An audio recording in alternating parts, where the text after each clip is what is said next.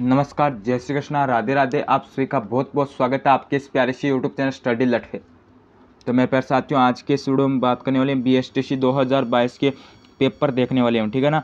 आपके इस वीडियो में आपको जो बी एस टी सी दो हज़ार बाईस का जो कंप्लीट पेपर है, वो आपको हल करवाया जाएगा। जैसे आपका एग्ज़ाम में पेपर रहता है ना, वैसे वैसे क्वेश्चन आपको आठ तारीख को एग्ज़ाम होगा, वैसे वैसे क्वेश्चन आपको इस क्लास में हम आपके साथ लेकर आए हैं। तो वीडियो को पूरा एकदम कंप्लीट देखना है, इस क्लास को आपको एकदम से कंप्लीट देखना है। बिल्कुल से भी स्किप नहीं करना है, सारे क्वेश्चन आपको देखने हैं, क्योंकि इनमें से आपको निश्चित तौर पर कुछ क्वेश्चन आपको एग्ज़ाम में देखने को मिल सकते हैं। तो पूरी क्लास को अंत तक देखिए, और जो न्यू स्टूडेंट है, वो चैनल को सब्सक्राइब अत्यावश्यक कर लेना, क्योंकि बी एस टी सी दो हज़ार बाईस की आपकी जो भी क्लास होगी, वो आपको स्टडी लेट पर प्रोवाइड करवा दी जाएगी। तो चैनल को सब्सक्राइब अत्यावश्यक कर लेना और जो जो स्टूडेंट 2008 से लेकर 2021 तक, यानी 13 सालों की, अगर आपको पेपर चाहिए तो आप टेलीग्राम चैनल को ज्वाइन कर लीजिए। लिंक डिस्क्रिप्शन में दी गई है टेलीग्राम चैनल की, उसे आप ज्वाइन कर लीजिए, क्योंकि उसमें आपको पिछले तेरह सालों के पेपर आपको प्रोवाइड करवाए जाएँगे। तीन सालों के पेपर तो आपको मिल गए हैं तो आप ज्वाइन कर लीजिए। लिंक डिस्क्रिप्शन में दी गई है। तो चलिए आज की इस क्लास को स्टार्ट करते हैं। देखिए, सबसे पहला क्वेश्चन आप यहाँ पे देख सकते हो। हाँ सबसे पहला क्वेश्चन है, राजस्थान में राज्य मंत्री परिषद में मंत्रियों की अधिकतम संख्या कितनी हो सकती है? हाँ यहाँ पे पूछा कि राजस्थान राज्य में मंत्री परिषद में मंत्रियों की अधिकतम संख्या हो सकती है। ए ऑप्शन है पंद्रह, बारह, पच्चीस या फिर तीस। कितनी हो सकती है अधिकतम? तो आपकी अधिकतम यहाँ पे हो जाएगी, मेरे पास आते हो अधिकतम आपको पूछा तो यहाँ पे हो जाएगी आपकी तीस। ठीक है ना? अधिकतम तीस हो सकती है। चलिए अगले क्वेश्चन की ओर चलते हैं। अगला क्वेश्चन है कि राजस्थान में कितने संभाग है? वेरी इंपॉर्टेंट क्वेश्चन है। वैसे इजी भी आपको आना भी चाहिए। एक तो है पाँच है, छः है, सात है या फिर दस है तो आपका हो जाएगा राजस्थान में सात संभाग है, ठीक है ना? राजस्थान में सात संभाग है और आपको ऐसा पूछ लिया, ठीक है ना? एक सेकेंड हाँ आपको ऐसा पूछ लिया कि नवीनतम संभाग कौन सा है, तब आपको बताना है भरतपुर, ठीक है ना? तब आपको बताना है भरतपुर है वो नवीनतम, ठीक है ना? नवीनतम संभाग है, ठीक है ना? चलिए अगले क्वेश्चन की ओर चलते हैं। हाँ अगला क्वेश्चन देखिए, राजस्थान में पहली बार राष्ट्रपति शासन कब लागू हुआ? पॉलिटिकल से वेरी इंपॉर्टेंट क्वेश्चन है। राजस्थान में पहली बार राष्ट्रपति शासन कब लागू हुआ? चार ऑप्शन आपको दिए गए उन्नीस सौ बावन उन्नीस सौ पचपन, उन्नीस सौ बासठ और उन्नीस सौ सड़सठ। तो इसमें आपका हो जाएगा डी ठीक है ना? इसमें आपका हो जाएगा डी यानी उन्नीस सौ सड़सठ, ठीक है ना? चलिए नेक्स्ट अगला क्वेश्चन है कि राजस्थान का वह जिला जहाँ से करक रेखा निकलती है? वेरी इंपॉर्टेंट क्वेश्चन है, ठीक है ना? वेरी वेरी इंपॉर्टेंट क्वेश्चन आपको पता है करक रेखा आठ राज्यों से गुजरती है, ठीक है ना? आठ राज्यों से गुजरती है, आपको बताने कि राजस्थान में कौन से जो इन चार ऑप्शन में से कौन सा है, ठीक है ना? तो यहाँ पे आपका हो जाएगा डूंगरपुर, ठीक है ना? डूंगरपुर। हाँ और एक आपका हो जाएगा बांसवाड़ा। ठीक है ना? यहाँ पे फ़िलहाल में ये पूछा है कि किस राज्य से निकलती है? तो यहाँ पे बीकानेर से नहीं है, जैसलमेर से भी नहीं है, चित्तौड़गढ़ से भी नहीं है तो यहाँ पे आपका हो जाएगा डूंगरपुर। ठीक है ना? बी। चलिए नेक्स्ट अगला क्वेश्चन देखिए कि क्षेत्रफल की दृष्टि से, क्षेत्रफल की दृष्टि से राजस्थान का सबसे बड़ा जिला। क्षेत्रफल की दृष्टि से राजस्थान का सबसे बड़ा जिला धौलपुर, बाड़मेर, बीकानेर, जैसलमेर। तो आपका क्षेत्रफल की दृष्टि से सबसे बड़ा जिला है जैसलमेर। ठीक है ना? जैसलमेर। हाँ जैसलमेर, उसके बाद बीकानेर हो गया वहाँ ठीक है ना? उसके बाद आपका बीकानेर हो गया। उसके बाद आपका जोधपुर हो गया, ठीक है ना? इस हिसाब से ये बड़े ज़िले अगर आपको सबसे छोटा पूछ लेता तो आपका हो गया धौलपुर, ठीक है ना? धौलपुर, दौसा, राजसमंद, ये आपके छोटे ज़िले लेकिन सबसे छोटा है धौलपुर और जैसलमेर आपका है सबसे बड़ा। जैसलमेर का है अड़तीस से अड़तीस चार सौ एक है और इसका आपका है तीस चौंतीस है, ठीक है ना? तो ये आपका इसका क्षेत्रफल है। अगला क्वेश्चन है कि बाजरा उत्पादन में राजस्थान का भारत में कौन सा स्थान है? बाजरा उत्पादन की दृष्टि से राजस्थान का भारत में कौन सा स्थान है? हाँ। बाजरा उत्पादन की दृष्टि से भारत का, भारत में राजस्थान का पहला स्थान है, ठीक है ना? भारत में राजस्थान का पहला स्थान है। चलिए अगले क्वेश्चन की ओर चलते हैं। अगला क्वेश्चन है कि राष्ट्रीय सरसों अनुसंधान अनुसंधान केंद्र कहाँ पर स्थित है? राष्ट्रीय सरसों अनुसंधान केंद्र कहाँ पर स्थित है? अलवर, कोटा, भरतपुर, करौली। तो इसमें आपका हो जाएगा भरतपुर, ठीक है ना? भरतपुर। और भरतपुर का वो भी क्वेश्चन था ना कि जो सबसे नवीनतम संभाग है वो भरतपुर है। चलिए नेक्स्ट अगला क्वेश्चन है कि जनगणना 2011 के अनुसार राजस्थान में लिंगानुपात है। नौ सौ इकतालीस, नौ सौ चालीस, नौ सौ अट्ठाईस या फिर नौ सौ इक्कीस? जनगणना 2011 के अनुसार आपको बताना है। तो इसमें आपका हो जाएगा नौ सौ अट्ठाईस। चलिए अगले क्वेश्चन की ओर चलते हैं। अगला क्वेश्चन देखिए। हाँ उत्तर भारत का सर्वोत्तम पूर्ण साक्षर जिला कौन सा है? उत्तर भारत का बताना आपका, ठीक है ना? उत्तर भारत का सर्वप्रथम साक्षर जिला कौन सा है? पूर्णतः अजमेर, झुंझुनू, जयपुर, उदयपुर। तो इसमें आपका हो जाएगा अजमेर, ठीक है ना? ए। चलिए अगले क्वेश्चन की ओर चलते हैं। अगला क्वेश्चन कि राजस्थान का सबसे निकटतम बंदरगाह कौन सा है? कोलकाता, कांडला, हल्दिया विशाखापट्टनम। हाँ राजस्थान का सबसे निकटतम। तो इसका हो जाएगा कांडला, ठीक है ना? कांडला। निकटतम है। चलिए अगले क्वेश्चन की ओर चलते हैं। अगला क्वेश्चन है कि मेजा बाँध का निर्माण किस नदी पर हुआ? वेरी वेरी इंपॉर्टेंट क्वेश्चन है। स्टार लगाने वाला क्वेश्चन है, ठीक है ना? स्टार लगाने वाला आपका क्वेश्चन है ये। हाँ।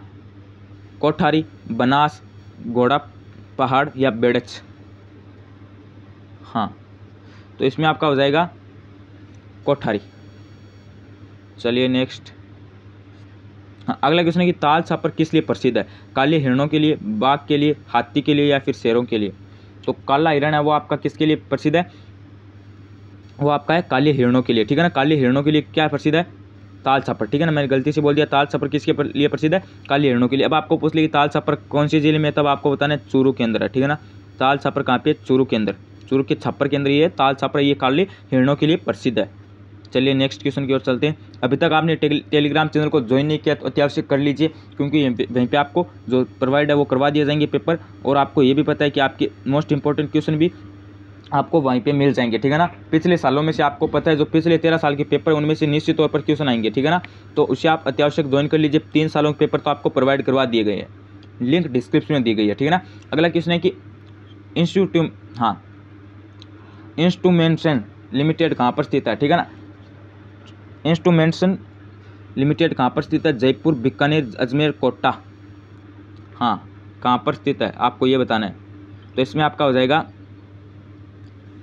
कोटा। ठीक है ना? कोटा।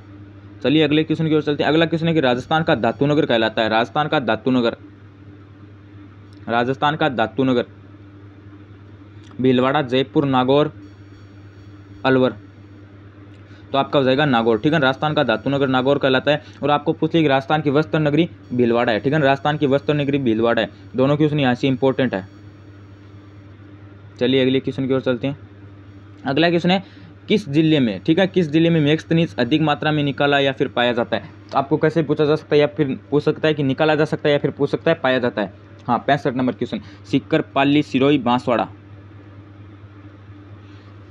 तो इसमें आपका हो जाएगा बांसवाड़ा, ठीक है ना? बांसवाड़ा ये कर्क रेखा वाला भी है, यहाँ पे दोनों क्वेश्चन मोस्ट है। तो यहाँ पे आपका हो जाएगा निकाला या फिर पाया जाता है बांसवाड़ा।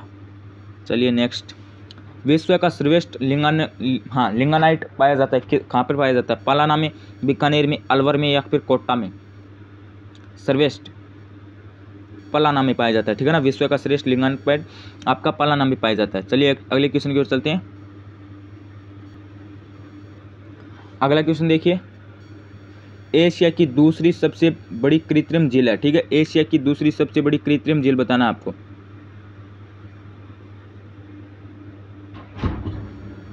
हाँ बालसमंद, राजसमंद, जयसमंद या फिर सिली सेड एशिया की दूसरी सबसे बड़ी कृत्रिम झील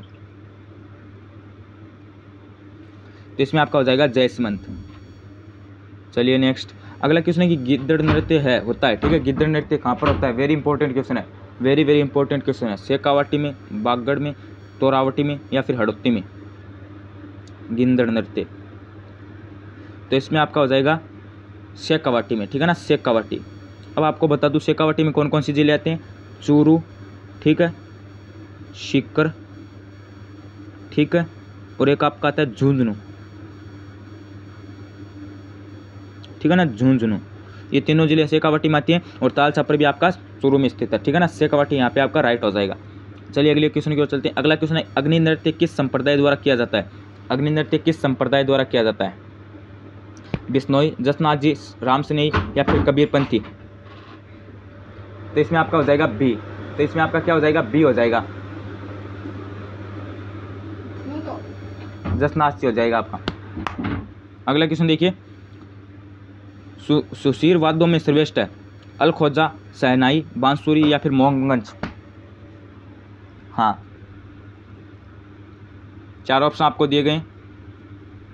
इसमें आपका हो जाएगा सहनाई अगला क्वेश्चन देखिए। कपिल मुनि का मेला कहाँ पर बढ़ता है? कपिल मुनि का मेला कहाँ पर बढ़ता है? बीकानेर कोलायर देशनोक, करौली। तो यहाँ पे आपका हो जाएगा कोलायत ठीक है ना? कोलायत। और जो आपका जो करणी माता का मंदिर है वो है देशनोक बीकानेर के अंदर स्थित है ठीक है ना? दोनों क्वेश्चन यहाँ से इंपॉर्टेंट है। और आपका जो जो अभ्यारण्य है केला देव वो भी करौली में स्थित है। अगला क्वेश्चन देखिए। हाँ अगला क्वेश्चन देखिए। गणगौर का त्यौहार किस महीने में आता है? वेरी इंपॉर्टेंट क्वेश्चन है। गणगौर का त्यौहार किस महीने में आता है? क, जो कला संस्कृति है राजस्थान की वहाँ से वेरी इंपॉर्टेंट क्वेश्चन है। चैत्र में यानी चैत में बैसाख में जेठ में या फिर फाल्गुन में, यानी फागण में। तो इसमें आपका हो जाएगा चैत्र में, चैत में। ठीक है? चलिए अगले क्वेश्चन की ओर चलते हैं। अगला क्वेश्चन देखिए, किस नदी हाँ सॉरी किस दिन लियंटांस पक्षी का दिखना शुभ माना जाता है? नवरात्रा के दिन, दशहरा के दिन, दीपावली के दिन या फिर होली के दिन? तो इसमें आपका हो जाएगा दशहरे के दिन, ठीक है ना? लियंटांस पक्षी का दिखना शुभ माना जाता है। चलिए अगले क्वेश्चन की ओर चलते हैं। हाँ लड़के के जन्म पर थाली बजाई जाती है किस धातु की? सोने की, चांदी की, कांसे की या फिर इनमें से कोई नहीं। जब लड़के का जन्म होता है, तब आपको पता है थाली बजाई जाती है। अब किसकी बजाई जाती है? तो वो जाती है आपकी कांस्य की, ठीक है ना? चलिए नेक्स्ट क्वेश्चन की ओर चलते हैं। अगला क्वेश्चन देखिए कि डिंगल का होरेस कहा जाता है। पृथ्वीराज राठौड़ को, शिवचंद भरतिया को, अंबिका दत्त व्यास को, मोहनेत नेणासी को। तो किसको कहा जाता है आपका? पृथ्वीराज राठौड़ को। चलिए नेक्स्ट क्वेश्चन की ओर चलते हैं। हाँ अगला देखो वेरी इंपॉर्टेंट क्वेश्चन है, ठीक है ना? वेरी वेरी इंपॉर्टेंट क्वेश्चन आपका। कौन सा लो हाँ कौन सा एक सेकेंड कौन से लोक देवता पंचपीरों में नहीं आते हैं, ठीक है ना? हड़बुज जी रामदेव जी तेजा जी पाबू जी हड़बू जी रामदेव जी तेजा जी पाबू जी तो इसमें आपका हो जाएगा पाबू जी सॉरी इसमें आपका हो जाएगा तेजा जी ठीक है ना? इसमें आपका तेजा जी हो जाएगा तेजा जी पंचपीरों में नहीं आती है, यहाँ पे आपका गोगा जी होगा, ठीक है ना? और उसके बाद आपको बताया तो पाबू जी को लक्ष्मण का अवतार माना जाता है, और पाबू जी का जो जन्म है वो जोधपुर के फलोदी में हुआ, ठीक है? और आपको ऐसा भी पूछा जा सकता है। हाँ जो तेजा जी है, उनका जन्म कहाँ पे हुआ? और ये भी पूछा जा सकता है कि तेजा जी की घोड़ी का क्या नाम था? लीलन था। और जो लाछा गुजरी की छतरी वो कहाँ पे स्थित है? आपकी हो जाएगी नागौर के अंदर। और तेजा जी से रिलेटेड ऐसा पूछा जा सकता है एग्ज़ाम में हर बार आता है तेजा जी से रिलेटेड क्यों सुनाता है? कि तेजा जी का मेला कहाँ पर पाया जाता है? तब आपको बताना है नागौर के अंदर। और तेजा जी का पशु मेला, तब आपको बताना है पर्वतसर नागौर, ठीक है ना? तो दोनों क्वेश्चन यहाँ से इंपॉर्टेंट है। अगला क्वेश्चन देखिए, मधुमक्खियों की देवी कहलाती है। कर्णी माता रानी सती सुंदा माता जीर्ण माता तो मधुमुखी जो देवी है, वो कौन सी कहलाती है? जीर्ण माता अगला क्वेश्चन देखिए। सवंगिया माता कहाँ के शासकों की कुल देवी है? ठीक है ना? सवंगिया माता कहाँ के शासकों की कुल देवी है? जैसलमेर, जयपुर, उदयपुर, कोटा। तो इसमें आपका हो जाएगा जैसलमेर, ठीक है ना? चलिए अगले क्वेश्चन की ओर चलते हैं। अगला क्वेश्चन देखिए। मेवाड़ का मैराथन कहा जाता है। मेवाड़ का मैराथन कहा जाता है। दिवेर के युद्धों को बाड़ी के, खातोली के या फिर खानवा के। तो इसमें आपका हो जाएगा दिवेर के युद्धों को। अगला क्वेश्चन देखिए। हाँ। अलाउद्दीन खिलजी ने रणथम्पोर पर आक्रमण कब किया? स्टार लगाने वाले क्वेश्चन एग्ज़ाम में पूछा जा सकता है, ठीक है ना? एक दो एग्ज़ाम में पहले भी पूछ लिया गया उन्नीस सौ नवासी में क्या, तेरह सौ पाँच में क्या, तेरह सौ एक में क्या, तेरह सौ चार में क्या। हाँ। तो इसमें आपका हो जाएगा तेरह सौ एक, ठीक है ना? तेरह सौ एक। चलिए नेक्स्ट अगला क्वेश्चन है कि? राजस्थान की गांधी है गोकुल भाई भट्ट है बुल्ला भाई देसाई है माणिक्य लाल वर्मा है, या फिर अब्दुल गफ्फार खां हाँ? तो इसमें आपका हो जाएगा गोकुल भाई भट्ट, ठीक है राजस्थान के गांधी। अगला क्वेश्चन देखिए कि? बिज्जक की पहाड़ी स्थित है बेराट, जयपुर, भरतपुर, कोटा। तो इसमें आपका हो जाएगा बेराट, ठीक है ना? बिज्जक की पहाड़ियाँ कहाँ पर स्थित है? बेराट के अंदर है। अगला क्वेश्चन देखिए हाँ। जनसंख्या की दृष्टि से सबसे छोटा संभाग भरतपुर कोट्टा जोधपुर, जयपुर। जनसंख्या की दृष्टि से सबसे छोटा संभाग। तो हो जाएगा आपका कोट्टा ठीक है ना? और आपको पूछ ले कितने संभाग है? सात है। सबसे नवीनतम कौन सा है? भरतपुर। ठीक है? चलिए नेक्स्ट की ओर चलते हैं। अगला क्वेश्चन आपका सुमेलित कीजिए, ठीक है ना? सुमेलित कीजिए नवल खां।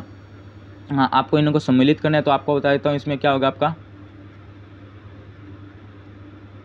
हाँ इसमें आपका हो जाएगा, जो नवलखा है वो तो है बूंदी में, उसके बाद आपकी हाँ जो गेव सागर है वो भी डूंगरपुर में है, बालसमंद जोधपुर में है, और उसका आपका हो जाएगा कोलायत बीकानेर यानी ये सभी अपने अपने सामने, यानी सभी ये सम्मिलित है तो ऑप्शन नंबर ए आपका राइट हो जाएगा, ठीक है ना? ऑप्शन नंबर ए आपका राइट हो जाएगा। चलिए नेक्स्ट की ओर चलते हैं। अगला क्वेश्चन देखिए। जिन वनों पर पूर्ण सरकारी नियंत्रण होता है, वह क्या कहलाते हैं? आरक्षित अवर्गीकृत सुरक्षित या फिर इनमें से कोई नहीं। तो इसमें आपका हो जाएगा आरक्षित, ठीक है ना? चलिए अगले क्वेश्चन की ओर चलते हैं। अगला क्वेश्चन है कि राजस्थान का वह राष्ट्रीय अभ्यारण्य जो एशिया के पक्षियों का सबसे बड़ा प्रजनन क्षेत्र माना जाता है, कौन सा है? श्री सिक्का रणथम्बोर केवला देव ये करौली केंद्र है, ठीक है ना? उसके बाद है सज्जनगढ़ हाँ तो इसमें आपका हो जाएगा वह कौन सा है? तो आपका हो जाएगा केवला देव ठीक है? करौली वाला। चलिए अगला क्वेश्चन है भारत का वह राज्य जहाँ अनेक प्रकार के खनिज मिलने के कारण उसे भूवर्ग वेताओं के ने खनिज संग्रहालय कहा गया है।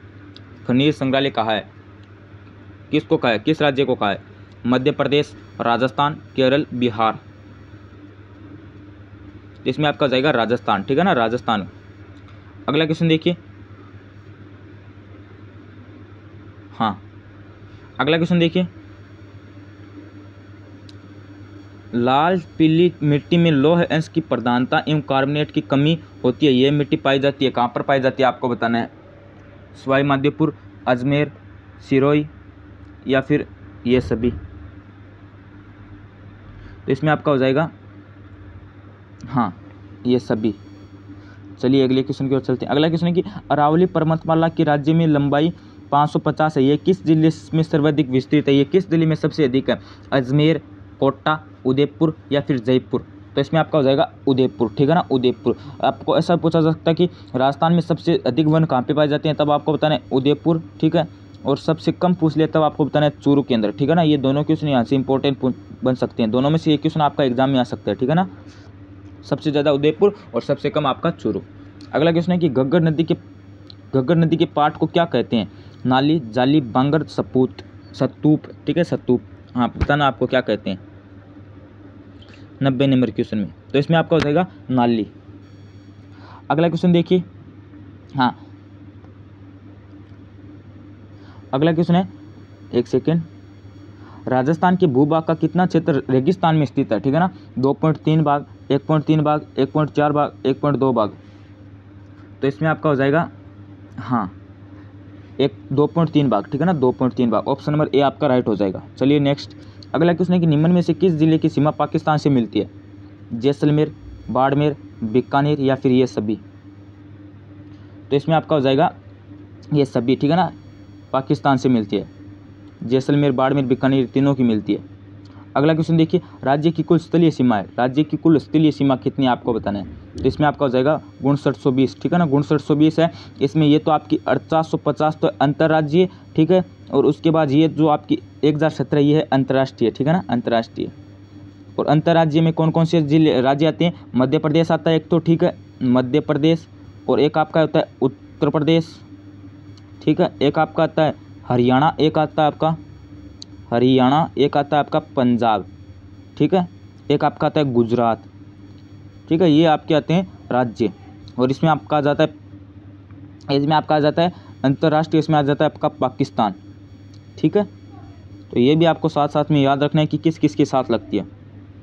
तो यहाँ पे आपका हो जाएगा उनसठ सौ बीस, ये आपकी हो जाएगी अंतर्राज्यीय आपकी हो जाएगी अंतर्राष्ट्रीय, और ये आपकी हो जाएगी कुल स्थलीय सीमा हो जाएगी उनसठ सौ बीस, यानी आपका सी हो जाएगा।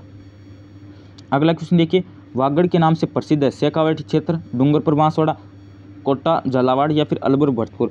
शेखावाटी क्षेत्र में मैंने आपको बताया था, चूरू, झुंझुनू और आपके सिक्कर आता है, ठीक है ना? यहाँ पे क्वेश्चन क्या पूछा है कि वागड़ के नाम से कौन सा प्रसिद्ध है? तब आपका हो जाएगा डूंगरपुर, बांसवाड़ा, ठीक है?